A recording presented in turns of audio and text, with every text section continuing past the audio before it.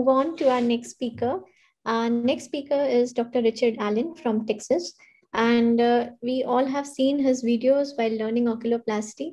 He has around three, more than 300 videos of oculoplasty in his YouTube channel. Over to you, sir, for uh, describing the indications of orbital fracture repair. All right. Thank you so much. It's really a pleasure to be here. Um, what I'd like to talk about today is just current recommendations for orbital fracture repair. So a much simpler uh, topic compared to what we, what Dr. Shields just uh, just presented. I have no financial disclosures. I, I just like to start with some quotes from my clinic. Um, first one is, "I don't see it, doc." Second one is, "I don't look in that direction," and then the third one is, "I don't know how to measure 50% of the floor." So, are there any hard and fast rules for orbital floor and medial wall fractures? So, again, we're just going to be talking about blowout fractures. So, not NOEs, not ZMCs, and not Le Fort fractures. And I think really what it comes down to is what the indications are for the repair and what the timing is for the repair.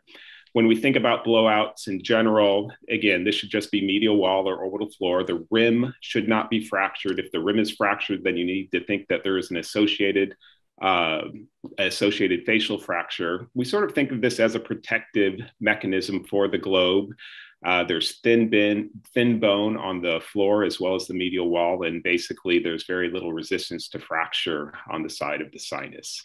So when we look at our orbital floor, this should not involve the zygoma. The zygoma is a very thick bone. This should be involving really just the maxillary bone. Sometimes this extends to the ethmoid bone. This should not go posterior to the pterygopalatine fossa. So sort of the anatomy of the orbital floor fracture. Um, when we look at the medial wall, again, this should not extend superior to the frontal ethmoidal suture. Again, this may extend close to the optic canal, should not be anterior to the posterior lacrimal crest, might involve, uh, involve a little bit of the lacrimal bone, and then again can extend to the orbital floor. So we sort of have these isolated orbital floors, isolated medial wall fractures, and then we have a combined medial wall and orbital floor fracture. So, what are the sequelae of blowout fractures? Well, we have increased orbital volume, and this can result in enophthalmos, and later fat atrophy can contribute to this. If we get tissue prolapse or entrapment into the fracture, we can get a restrictive strabismus. Again, I always say that a uh, entrapment is a clinical diagnosis, not a radiological diagnosis. So, this is something that uh, don't believe your radiologist necessarily with regards to entrapment. I think that this is a clinical diagnosis, and we'll talk about that later. You can also get damage not only to the sensory, but also the motor nerves. And so you can get V2 hypoesthesia, and then you can get a paralytic strabismus. And how do we figure out, well, what's the difference between a paralytic and a restrictive strabismus? Usually we're going to do forced ductions. So this is a, a kid with a left medial wall fracture, and I'm having him look to his right, and you see that he has a paralytic strabismus. Now, we don't treat paralytic strabismus with surgery after trauma. In general, we let this resolve on its own. So if he has has negative force ductions, I am not going to treat him. And again, how do we figure out if someone has positive force ductions? To me, this is usually an intraoperative uh, maneuver. And what I mean by that is that I rarely do this in the clinic, um, but I do do this before and after surgery in the operating room to prove that I have I have a restricted strabismus, and then secondly, at the end of the surgery, that I have that I have uh, released that that tissue. So I think one of the biggest things to always remember is that there are differences with regards to indications and timing of repair depending upon age. In children, uh, you know, bone bends and this may incarcerate tissue. So this is basically a green green stick fracture. This has implications for repair. And we always have to remember that these fractures can be missed by the radiologist. Whereas in adults, as we get older, our bone gets brittle, it breaks, and we get larger fractures. So, with regards to timing of repair, we think of this thing of, a, of uh, in children as a white-eye blowout fracture where the bone bends, incarcerates the tissue, in particular the inferior rectus muscle. And then if this muscle is not released, the muscle can become ischemic. There's really no controversy regarding the indication or timing of repair for this type of fracture. We try to repair these fractures within 12 to 24 hours.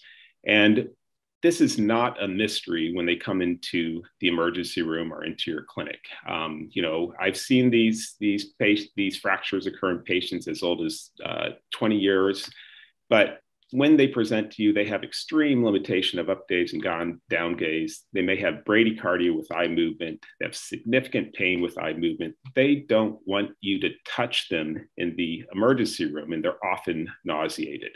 And so this is our typical picture of a kid with a white eye uh, blowout fracture. Why do we call it a white eye blowout fracture? Because they really look pretty good externally. They don't have a lot of hemorrhage or anything.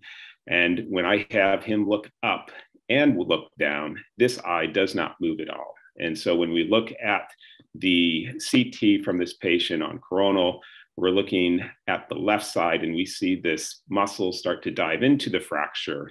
And then as we move posteriorly, you know, we sometimes call this the missing muscle sign in the sense that you lose the inferior rectus. Why do we lose the inferior rectus? Because it's on the other side of the fracture, it's in the sinus. And so you can imagine that this muscle being caught in this tight fracture is not good for it in the sense that it's going to become ischemic. If it's not released, if it becomes ischemic, it dies. And then you have a muscle that's neither going to contract nor relax. And so, you know, if you don't repair these patients relatively quickly, they're going to have this very narrow window of single binocular vision, potentially for the rest of their life. So we like to repair these very, very quickly. So here he is after surgery, looks much more healthy in the sense that he's no longer looking miserable or sick, no longer looking green, having him look up and complete, uh, complete motility if you get these guys closely enough. So adult blowout fractures are really where the controversy arise, arises and are resides. And I spend a lot of my time protecting patients from surgeons who want to operate on orbital fractures. And you know, it's not so much my oculoplastics colleagues, but I think it's a lot of my uh, otolaryngology colleagues as well as my maxillofacial surgeon colleagues who are still sort of believing the traditional teaching that has been out there for many, many years with regards to the indications for repair of orbital fractures. So let's talk a little bit about enophthalmos. So if we look at many of the books, traditionally, they say that two millimeters more of enophthalmos is significant enough to operate. And there have been quite a few studies that show that, gosh, you know, patients really don't notice two millimeters of enophthalmos or proptosis or you know axial difference between their two sides. And so for me i really let the patient decide how much an enophthalmos is significant to them. So what does that mean? I have them come back after their orbital fracture. If they have full, full motility and I, and I am measuring some in enophthalmos i basically ask them if they notice it the vast majority of young males, if they don't have any double vision, they don't want surgery. And, you know, to be quite truthful, an older patient who, you know, would have to undergo general anesthesia, and if they're anticoagulated, you might have to stop their anticoagulants and put them at risk. They really don't care if they have two, even three, maybe even four millimeters of enophthalmos. However, on the flip side, I have had a few patients who complain of one millimeter of enophthalmos gosh, is this is this true or is this uh, you know something that I'm not noticing? Fracture size, traditionally 50% or more of the floor was considered to be an indication for, for repair, but now I really treat the patient, not the scan. I do not do surgery to prevent up enophthalmos. I treat enophthalmos if it's noted by the patient and usually see the patient two weeks after trauma, have them follow up in a month. And lastly, with regards to, to strabismus, traditionally, even if, if there's evidence of restrictive strabismus two weeks after the fracture, you know, basically, traditionally, it was thought that if it's there at two weeks, you should operate. But rarely do I do that. I see them at two weeks and ask them if their double vision is continuing continuing to pr- improve, if they even notice the double vision, and then decide what to do from there. So if we have this small fracture, I'm finishing up just here quickly uh, you know, most of us would not feel the need to operate, even though the radiologist may claim that there's entrapment there. However, in a bigger fracture such as this, she has restricted restriction to up upgaze at two weeks, larger fracture, probably is going to need to be operated. So, who said what?